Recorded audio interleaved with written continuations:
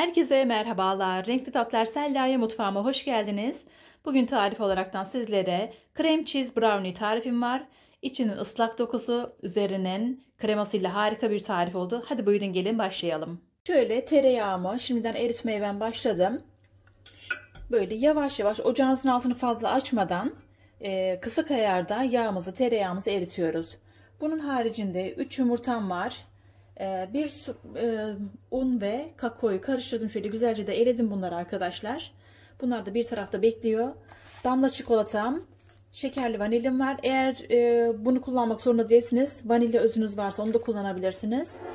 E, ve bir su bardağı da şekerim var. Şimdi yapmasına başlıyorum. Şimdi görmüş olduğunuz gibi tereyağım erimeye başladı. Bunun içerisine damla çikolatalarımı ilave ediyorum. 200 gram damla çikolatası. Evet damla çikolatam da eridikten sonra şöyle e, iki sıra da normal çikolata ekliyorum arkadaşlar. Bitter çikolata olmasına özen gösterin. Rengi çünkü biraz e, koyu renkte olmak zorunda brownie'nin. Açık renk olmayacak. Şimdi bunları güzelce şöyle tekrardan eritiyorum.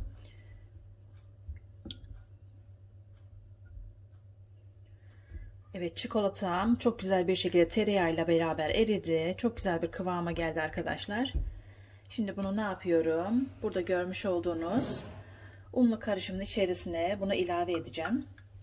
Çikolatasını koymadan önce yumurtayla şekeri çırpmak istiyorum. Şimdi 3 e, yumurtayı kırdıktan sonra 1 su bardağı şekerimizi ilave ediyorum.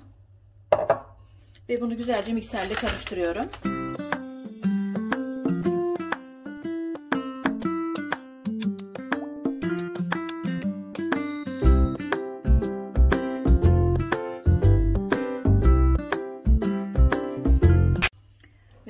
Arkadaşlar güzelce yumurtamızı çırptık şekerle beraber. Şimdi eritmiş olduğumuz çikolatamızı içerisine döküyorum.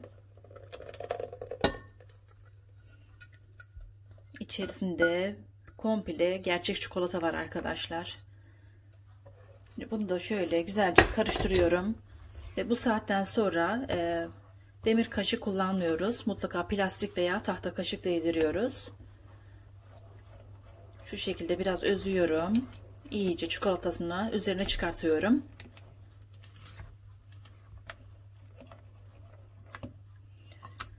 Daha sonra elemiş olduğum un ve kakao karışımını da üzerine ilave ediyorum. Ve tekrardan şöyle sağdan sola doğru dairesel hareketlerle bu şekilde arkadaşlar güzelce kekimizi özleştiriyoruz.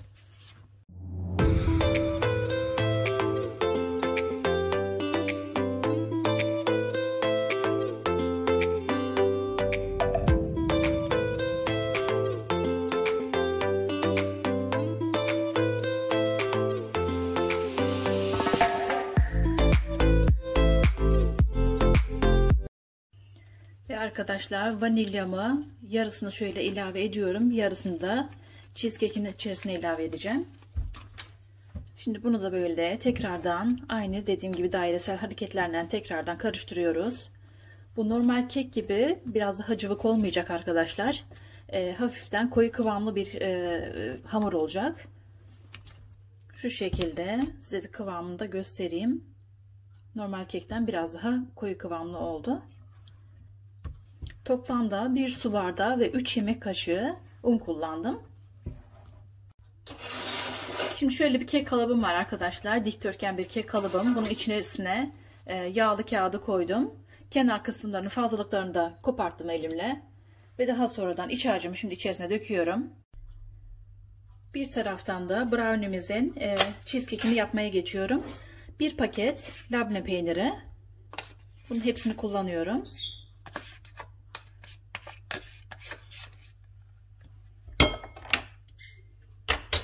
Daha sonra yarım su bardağı şeker. Bunu da ilave ettim. Bunları şöyle güzelce çırparaktan eritiyorum peynirle şekere. Üzerine de bir tane yumurta ilave ediyorum. Bunları tekrardan şöyle bir karıştırıyorum. Çok lezzetli bir brownie arkadaşlar. İnanın normal kek gibi değil. İçerisi böyle hafif nemli. Bu harcımızın içerisine şöyle 2 yemek kaşığı un ilave ediyorum. Ve tekrar bunları şöyle bir karıştırıyorum. Hafif böyle kıvamlı bir e, cheesecake görünümlü olması gerekiyor arkadaşlar.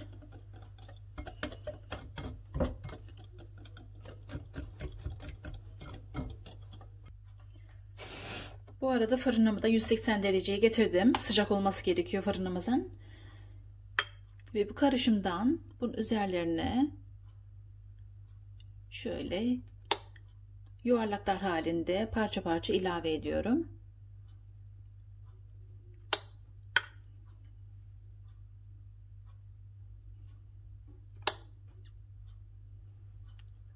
Çok lezzetli oluyor. Çocuklarınızın da yapabileceği bir tarif arkadaşlar.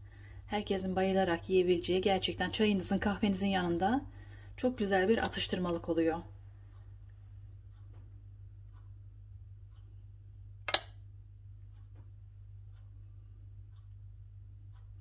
Bu şekilde her tarafına dairesel e, yuvarlaklar yaparaktan ilave ediyorum. Zaten kendiliğinden o yayılıyor.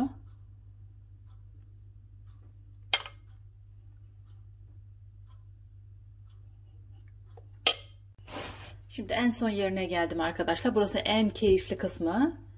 Şu şekilde elimde bir şiş var. Tahta şiş arkadaşlar. Şöyle şekiller vererekten üzerine güzelce şöyle gezdiriyorum. İstediğiniz şekli de verebilirsiniz. Böyle gitgeller yapabilirsiniz üzerinde. Piştikten sonra çok güzel bir görüntü ortaya çıkıyor. Şöyle her tarafını güzelce karıştırıyorum.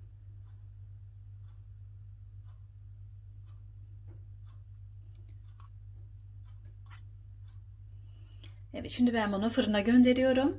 Kürdan testi yaparaktan arkadaşlar test ederekten pişireceğim. Herkesin fırını farklı olabilir. Ee, dediğim gibi e, onu o yüzden kontrollü pişirmenizi tavsiye ediyorum. Evet arkadaşlar brownie kekimiz pişti. Şimdi şöyle şu şekilde kesiyorum arkadaşlar. Benim fırınımda tam 30 dakika pişti. Herkesin fırını farklıdır. Dediğim gibi kürdan testi yaparaktan e, pişirebilirsiniz. Yine şunu hatırlatmak istiyorum. Bizim bu yaptığımız kek, benim yaptığım bu kek yani gerçek bir kek değil. Brownie arkadaşlar. Yani normal bir kekle karıştırmayalım. Brownie yaptık. Ve brownie de hiçbir zaman böyle kabarık bir kek olmaz. Böyle hafiften ince bir kek olur arkadaşlar. Ve şöyle alıp şimdi size şöyle göstereyim. Daha çok sıcak. Altı da gayet güzel pişmiş. Ve şöyle içini de açıp size şöyle çekip göstermek istiyorum. İnanın içerisinde hep çikolata var arkadaşlar. Çok güzel olmuş. Şöyle gösteriyorum size. Üzerinde cheesecake'e İçerisi brownie arkadaşlar. Mutlaka yapıp denemenizi tavsiye ediyorum. Şimdi sizler için tadına da bakacağım. Dayanamayacağım. İnanın harika olmuş arkadaşlar. Çikolata tadını gerçekten de alıyorsunuz. Çok lezzetli olmuş. Mutlaka yapıp denemenizi tavsiye ediyorum. Harika olmuş arkadaşlar. İnşallah tarifimi beğenmişsinizdir.